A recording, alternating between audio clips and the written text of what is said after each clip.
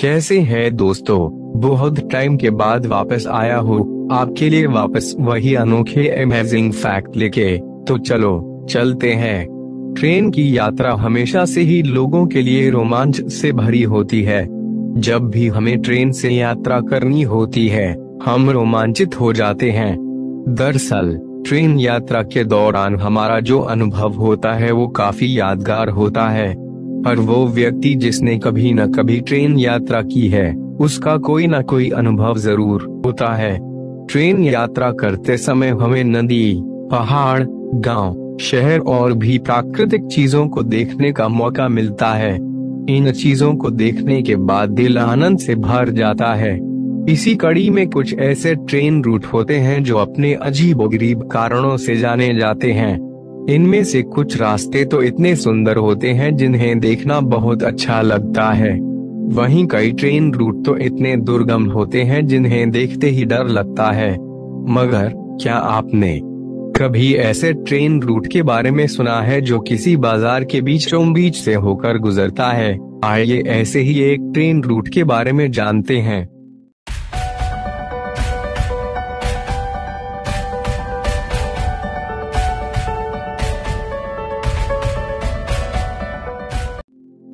दरअसल, थाईलैंड के बैंकॉक शहर में एक ऐसा ही ट्रेन रूट है, जहाँ ट्रेन बाज़ार के बीचों बीच से होकर जाती है। इस बाज़ार को फोल्डिंग अम्ब्रेला मार्केट के नाम से जाना जाता है। सुनने में ये नाम काफ़ी अजीब लगता है। दरअसल, एक संकरे रास्ते से गुजरने वाली ट्रेन की पटरी के अगल बगल सब्ज़ी की दुकानें लगाई जाती है। जैसे ही ट्रेन यहाँ से गुजरती है वैसे ही दुकानदार अपनी दुकान के पर्दे फोल्ड करके हटा लेते हैं, जिससे ट्रेन आसानी से निकल जाती है। ट्रेन के गुजरने के बाद दोबारा ये बाज़ार सजाता है। आपको जानकर हैरानी होगी कि ये बाज़ार दुनिया भर में प्रसिद्ध है।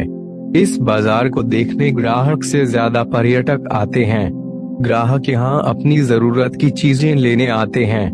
तो पर्यटक यहाँ फोटोग्राफी करने और वीडियो बनाने आते हैं। ये फोल्डिंग मार्केट सुबह छह बजे से शाम के छह बजे तक लगता है। इस मार्केट में सब्जियों के अलावा फल, मीट सी फ़ूड और राशन भी मिलता है। थाईलैंड टूरिज़्म अथॉरिटी के अनुसार, इस मार्केट से ट्रेन एक दिन में आठ बार आती और जाती है। ट्रेन चार बार महाचाई से माइकलॉन जाती है। और चार बार माइकलॉन से महाचाई वापस लौटती है। एक अंग्रेज़ी वेबसाइट के अनुसार माइकलॉन स्टेशन बैंकॉक से करीब 80 किलोमीटर दूर है। अगर हम बिना ट्रेन से ये दूरी तय करते हैं तो हमें डेढ़ घंटे का समय लगता है। ऐसे में ट्रेन से सफ़र करने में ये समय कम लगता है। इस मार्केट के अलावा इस इलाके में एम्फावा फ्लोटिंग मार्केट भी लगता है जो शुक्रवार से रविवार तक दिन के दो बजे से रात के तीन बजे तक खुलता है। यह थी दुनिया के सबसे अनोखे रेल रूट के बारे में कुछ महत्वपूर्ण जानकारी।